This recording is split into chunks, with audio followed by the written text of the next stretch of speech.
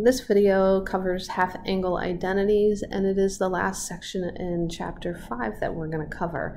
So here are our half angle identities. If you really want to see where they come from, turn to page 232 and you can read where they come from. They basically come from our double angle identities, I mean our, yeah, our double angle identities. So you can go over those proofs if you want to. I don't. They don't do all of them. They only do. I think they walk through one of them for you, but um, I'm sure you could figure the rest of them out afterwards.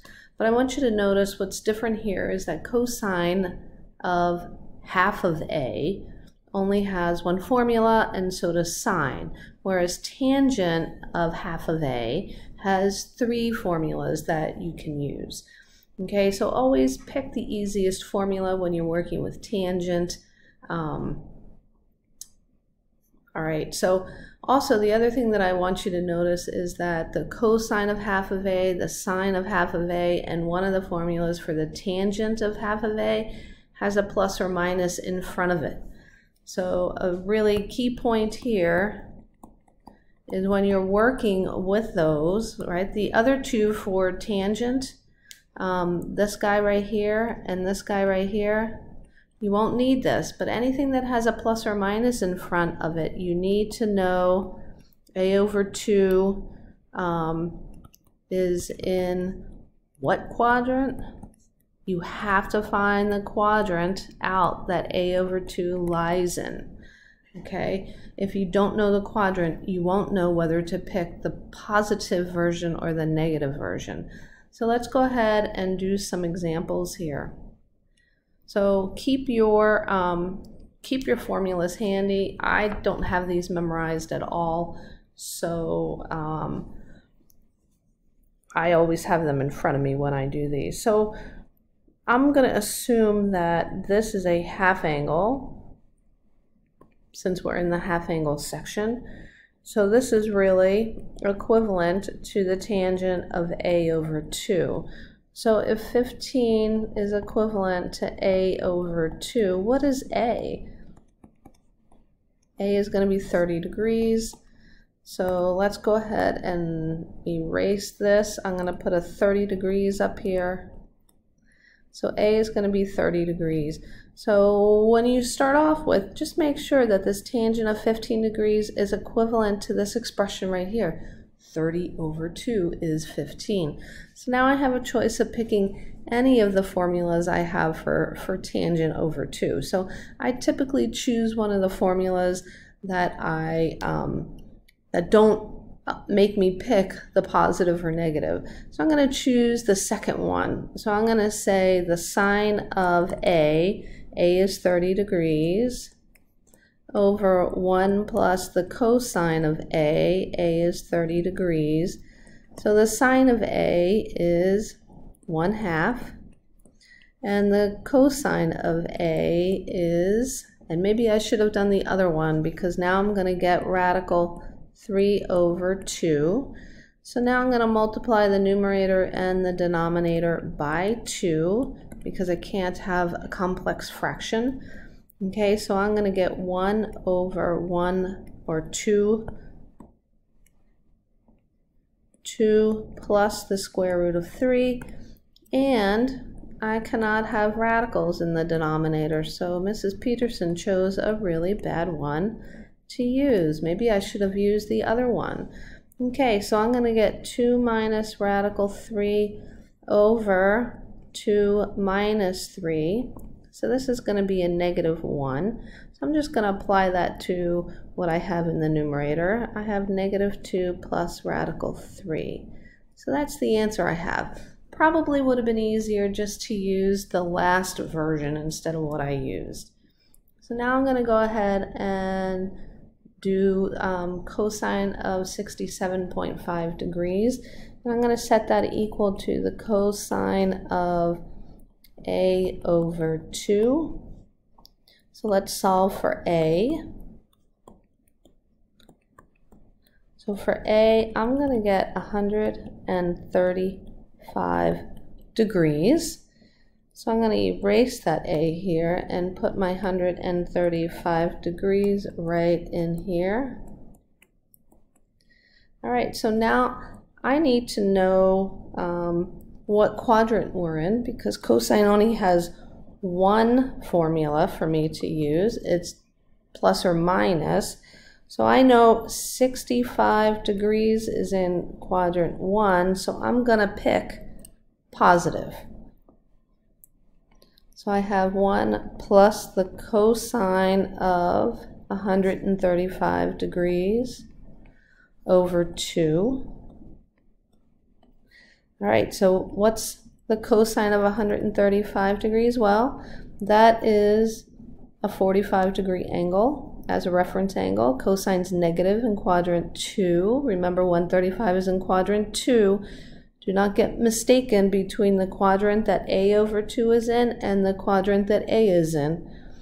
So this is going to be minus the square root of 2 over 2, all over 2.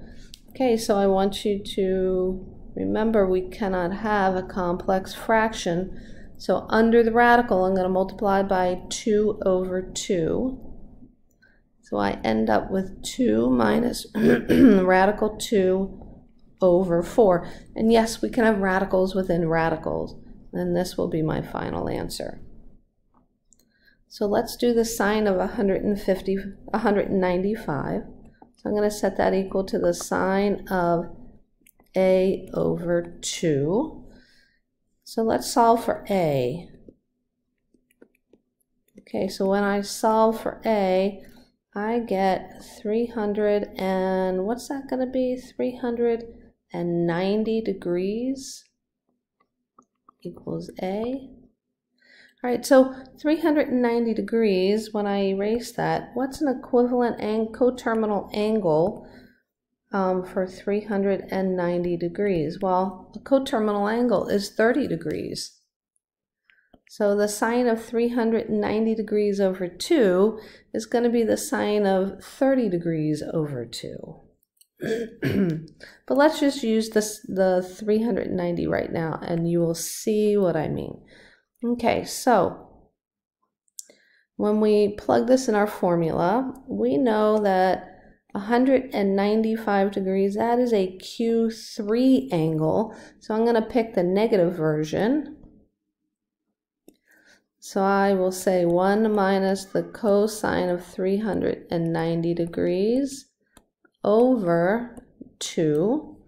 I know that 390 degrees is coterminal with 30 degrees. So these will have the same value. And I know that the cosine of 30 degrees is radical 3 over 2. And again, under the radical, I can't have this complex fraction, so I'm going to multiply it by 2 over 2 to get the square root of 2 minus radical 3 over 4. Final answer. All right, so now let's go ahead and do the sine of 165. Oh, I had to check, make sure we didn't do that already. The sine of 165, let's set that equal to a over 2. So if I solve for a, I get a is going to be 330 degrees. Good, so now let me erase that A and replace it with 330 degrees. All right, so where is 165 degrees? That is in Q2. So I'm going to pick the positive version here. So I get 1 minus the cosine of 330 degrees over 2. The cosine of 330 degrees, that's in quadrant um, 4. Cosine's positive in quadrant 4, and its reference angle is 30. So I know that this is going to be radical 3 over 2. And again, I'm going to um, get rid of this ugly complex fraction by multiplying by 2 over 2 underneath my radical to end up with 2 minus radical 3 over 4 as my final answer, which makes sense because 165 degrees is in Q2. It should be positive. All right, so before we continue, how do I know whether I have a half angle? I should use a half angle identity or I should use a double angle identity. Well, the way I take a look at it is I solve for A in both cases. I know what A is going to be here, sine of 330 degrees over 2, right? I know all my trigonometric values of 330 degrees over 2. But if I solve for A here, I'm going to be dividing 165 in half. So that gives me the sine of 2 times, let's see, 82.5 degrees. I don't know my trigonometric values for 82.5 degrees. So if I had to pick one to solve to give it an exact value and I don't have a calculator, I definitely wouldn't use my double angle identity here. I would use my half angle identity. Okay, and that's how I determine which one I'm going to use. All right, so I'm going to pause this right now. Um, I'm going to come back and I'm going to finish these types of examples in my next video.